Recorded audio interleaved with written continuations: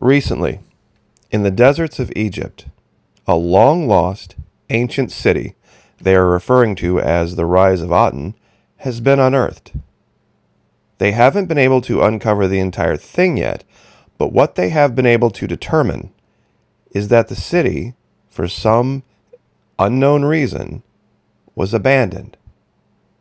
They've found a few skeletons here and there, but not as many as you would expect. And this is a recurring theme in the ancient world. We find cities that are perfectly intact, no evidence of attack, no evidence of natural disaster, that are just abandoned for some reason. You would have to ask yourself a question why. In today's video, I would like to expound on that idea a little bit and also draw some parallels to what we have found in Antarctica. And maybe the two events are really tied more closely than what science would have you believe. Now, a lot of these ancient cities have the same building technique simple masonry walls created with 90 degree angles, some rooms larger, some rooms smaller, of course, entryways. But sometimes you see something like on the left, where they have created this kind of snake effect, for lack of a better term. You'd have to ask yourself why they would bother, why they would um, take the time, because the only way you could really appreciate this would be from above, because at ground level, a wall is a wall. I'm not sure if this grants any kind of uh, strategic advantage. I can't see how it would. But very strangely, this image that you're looking at on the left is one that I found in Antarctica a long time ago. You had to zoom in very closely. I enhanced the image a little bit just to show the contrast.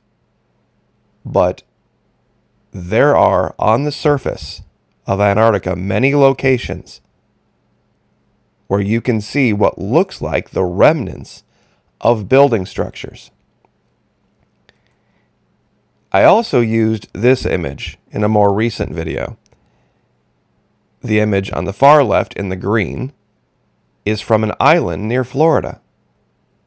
And there is this inexplicable clearing on the middle of this island that is virtually identical to the shape of the continent of Antarctica.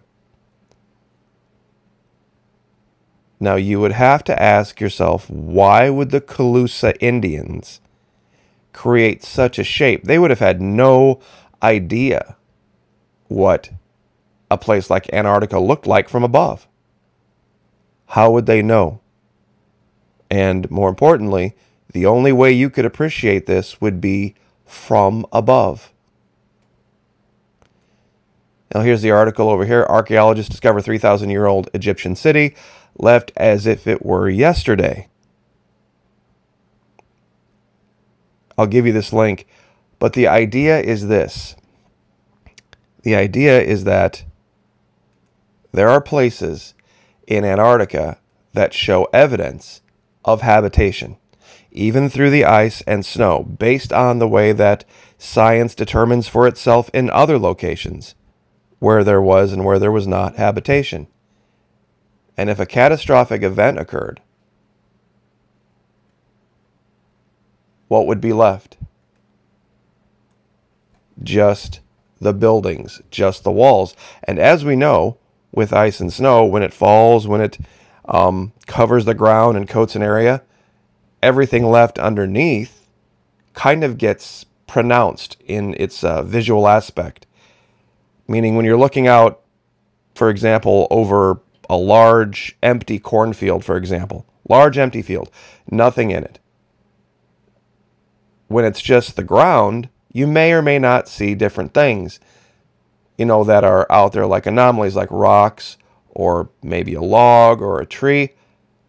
But when the snow hits and everything turns white, all of those little things become a lot easier to see. Now, I just wanted to zoom in here and show you this as well. This is another location that I will give you that shows what looks like the remnants of building structures on the surface of Antarctica. How they have missed this, I don't know. I don't think they have. Because a lot of these regions where I've found this, they have imaged inexplicably in very high res. Other areas of Antarctica are very low res. You can't see much.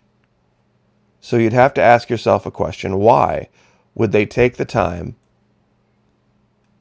to high res image places like this if they didn't think this was the case? To me, this is one of the biggest smoking guns of all because you just don't see 90 degree angles and things like this regularly. And one of the uh, more clear examples is on the other side of the continent.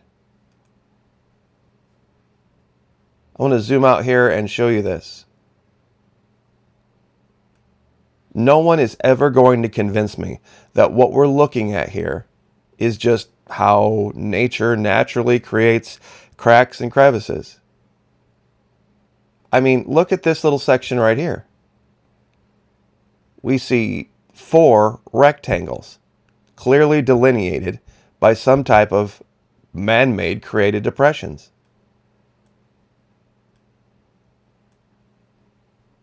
I mean, how many, just in this image, how many 90 degree angles can you count?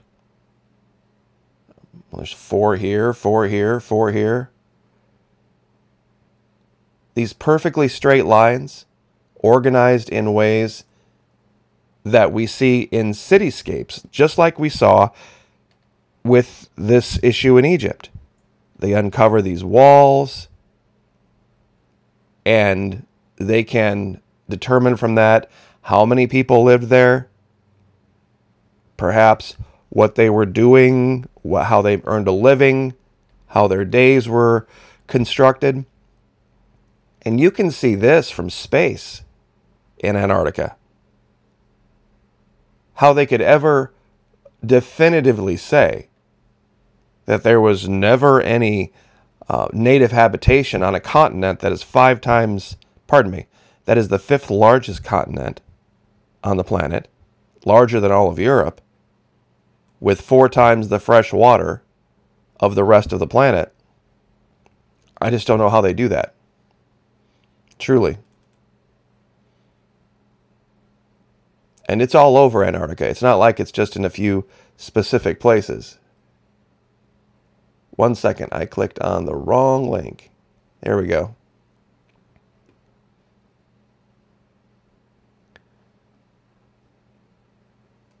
And as you can see, sometimes um, things don't appear exactly as you would think. But when you look at historical imagery, it's pretty clear something else is going on.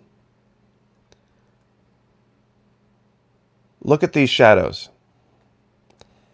Clearly the sun is shining over what looks like buildings.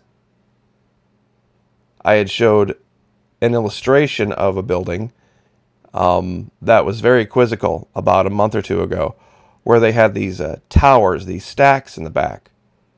And you can almost see one right here in the middle. Some type of a silo for storage.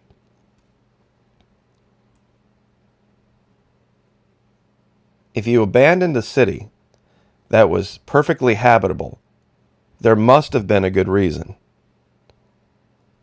Clearly, we can look in Antarctica and we can see that the climate changed. Something was happening. It probably didn't happen within a matter of weeks, but they knew they had to get out and they had to go somewhere else. And this is kind of the point that I have made about Antarctica. And perhaps I haven't made it as well as I should have. But if they left, there would have been one way out. And it would have been this way before this occurred. And we have stories all through this area of giants, of people of different races moving north, making their way through here. And the Calusa Indians ended up up here on the very southwestern tip of Florida with a military ability that far exceeded the rest of the Native Americans of the region. I don't think any of that is a coincidence. I think it all ties together. I think it's a lost history of this hemisphere.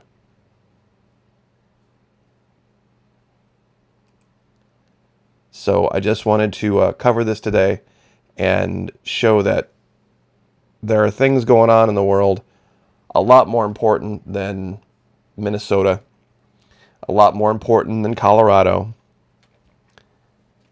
things that are going to change the world as we know it. God bless, like, share, subscribe. We'll see you next time.